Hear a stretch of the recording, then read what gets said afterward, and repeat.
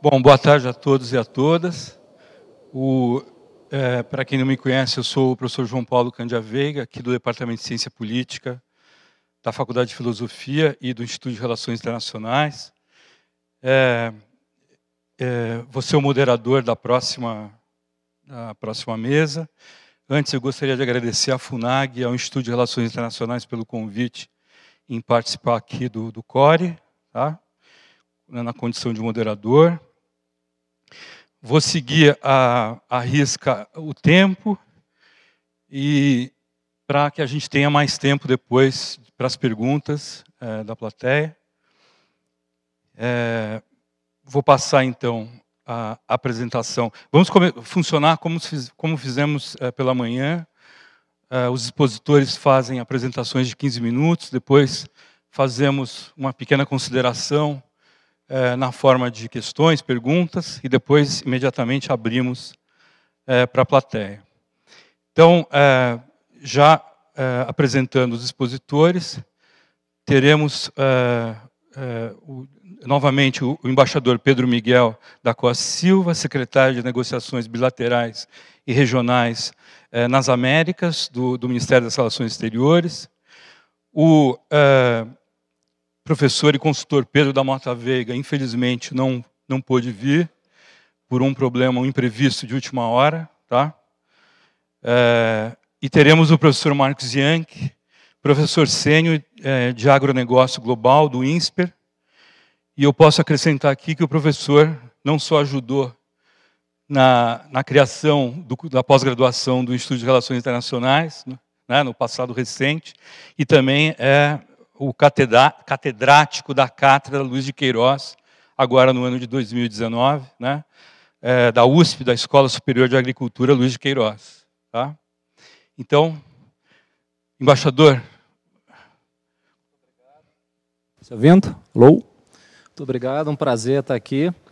Prazer estar com o Marcos também. É, o programa tem seis perguntas.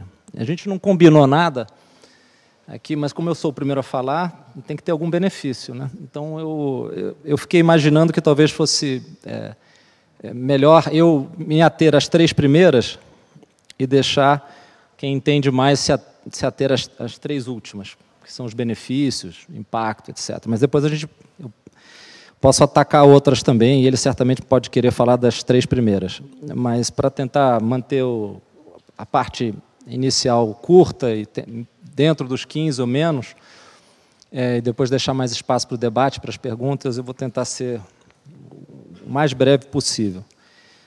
Quais as principais características de cada uma dessas negociações? Não, não dá, eu vou perder muito tempo. Eu vou dizer o seguinte: as negociações são todas de acordos de última geração. O Brasil não exclui nenhum dos temas de cima da mesa, a gente trata de tudo: compras governamentais, serviços, é, os temas de convergência regulatória, tarifa, propriedade intelectual, todos os temas. Inclusive, não, há coisas que eu não posso dizer aqui, mas há negociações nas quais nós estamos incluindo capítulos que não existem em nenhuma outra negociação até o momento. Aí vocês vão ter que adivinhar qual é. É, então, são acordos abrangentes, ambiciosos, de última geração, com o objetivo de fazer com que o Brasil e o Mercosul recuperem o tempo perdido na época que nós ou não participávamos de acordos ou participávamos de acordos muito é, pouco ambiciosos, limitados a preferências tarifárias e preferências tarifárias restritas. Né? Quão perto estamos de acordos com atores como Canadá, EFTA e Coreia do Sul? Bom, EFTA já concluiu. Né? E aí é importante é, dizer o seguinte: uma coisa é terminar a etapa das negociações, e isso me leva a uma das é, a próxima pergunta, qual o cronograma de implementação do acordo Mercosul-União Europeia? Diz o seguinte: você termina a, a parte de negociações é, e depois começa uma parte de revisão de listas de concessões tarifárias, de serviços, compras governamentais. Você começa um, um processo de revisão dos textos legais e depois você vai ter um processo, a etapa de assinatura dos acordos, depois que tudo estiver pronto, e depois tem que ir para os congressos. Né? E aí, dependendo do país, o procedimento é, é distinto.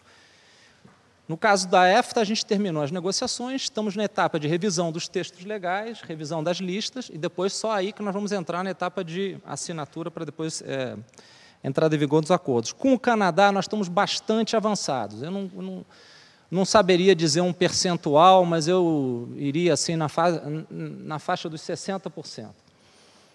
É, e poderíamos ir muito mais rápido. Não fomos mais rápido porque nós tivemos o processo eleitoral na Argentina e o processo eleitoral no Canadá.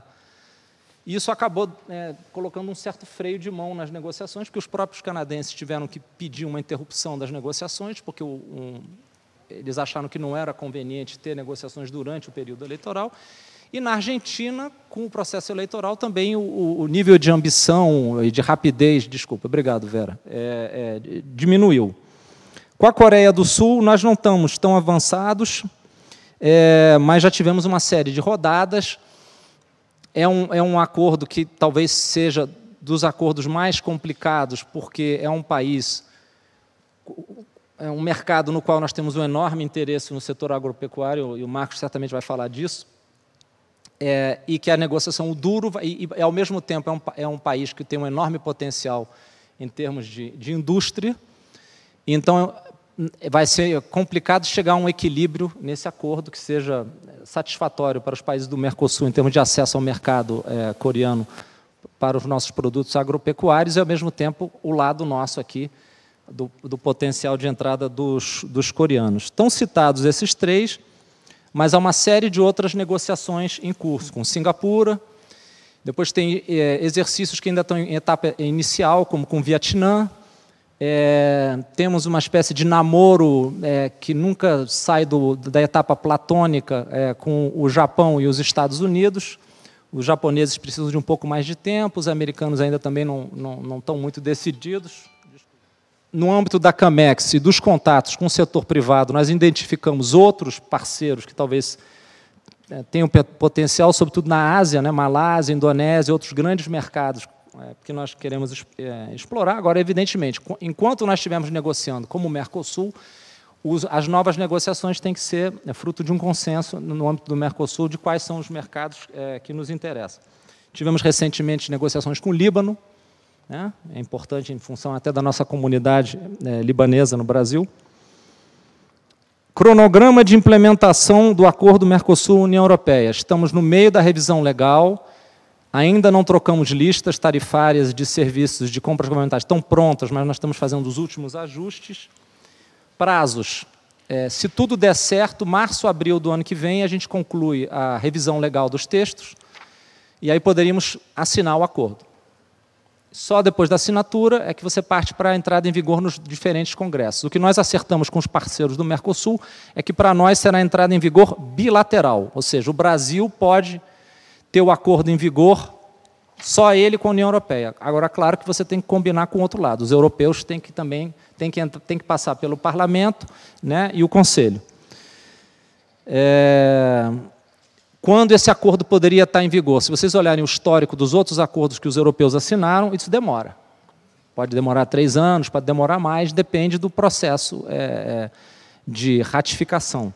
E o acordo ele tem duas partes. Ele tem uma parte econômica, comercial e tem uma parte política. A parte econômica e comercial pode entrar em vigor só com a parte do Parlamento Europeu e Conselho. Os capítulos políticos têm que ir para os parlamentos nacionais. Então, isso pode ser um elemento adicional complicador, vocês têm lido é, na imprensa. Eu posso entrar nisso depois, se vocês quiserem, na parte de perguntas é, e de debate sobre a questão de quais são as perspectivas, como é que nós vamos enfrentar é, esses desafios. O que eu direi agora é, é o seguinte: sobre, muito tem sido dito sobre ah, agora com a questão ambiental, com a questão da agricultura brasileira, esse acordo nunca, o acordo com a União Europeia nunca vai entrar em vigor, não vai ser aprovado. E eu tive recentemente num, num, num evento empresarial no Rio de Janeiro e eu disse: calma, calma, porque isso faz parte do jogo. É normal que é, países ou setores de países que não gostam é, de elementos do acordo façam pressão.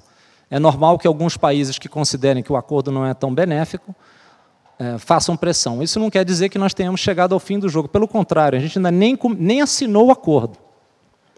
Então, só depois de assinado o acordo é que vai começar um trabalho de convencimento diplomático, de lobby, de, de negociação com cada um dos países para explicar melhor o acordo, porque também muita gente não sabe sequer o que está no acordo. Então, o acordo tem importantes cláusulas que garantem a sanidade animal e vegetal das nossas exportações. O acordo tem o princípio da precaução.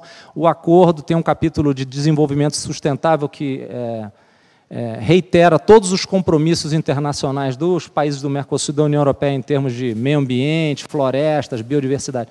Então, é um acordo que ainda é um, é um grande desconhecido. É, eu não sei como é que eu estou de tempo. Cinco minutos? Então, eu falarei de dois outros temas sobre as negociações é, internacionais. O primeiro é a negociação intra-Mercosul. Eu toquei nisso um pouquinho hoje de manhã no painel anterior. Nós estamos num processo de negociação, vocês devem ter visto na imprensa, de simplificação do Mercosul, de reforma e diminuição da tarifa externa comum. E aí vocês vão me perguntar, mas como é que você pode reformar a tarifa externa comum e, ao mesmo tempo, negociar com outros países? Se alguém tiver interesse nisso, a gente pode conversar depois nas perguntas e no debate. E tentar, como eu disse hoje de manhã, é acabar com alguns das exceções do Mercosul. Então, por exemplo, nós acabamos de assinar um acordo automotivo com a Argentina, estamos no meio de uma negociação de um acordo automotivo com o Paraguai, já temos um acordo com o Uruguai. Se tudo isso concluir, basta a gente tentar ter um guarda-chuva para incluir o setor automotivo no Mercosul, que era um dos grandes, é, das grandes ausências. Há outras exceções, há uma série de, de coisas que poderiam ser tornar a união aduaneira é, mais perfeita do que ela é. Então, tem um lado de negociações intra-Mercosul. E, finalmente, eu falei hoje de manhã da dimensão regional. Estamos no meio de uma negociação com os mexicanos para expandir o acordo que a gente tem com eles, que é um acordo muito limitado de preferências tarifárias, para ver se a gente torna o acordo num acordo de livre comércio, e não só de tarifas, mas tratar de outros temas não tarifários, que é, um, que, é uma, é, que, é um, que é um tema pendente e é importante para o setor privado brasileiro. Paralelamente, modernização dos acordos na América do Sul, como já aconteceu com o Chile. A gente tem um outro com o Peru que está no Congresso e a gente está aberto a fazer, a fazer a mesma coisa com outros países da região. E depois avançar para a América Central, que também foi identificado pelo nosso setor privado como um mercado interessante. Esses seriam, eu acho, é, foi, uma, foi uma apresentação meio improvisada, mas eu tentei responder as perguntas e tocar em todos os temas é, dentro do tempo e estou à disposição. Muito obrigado.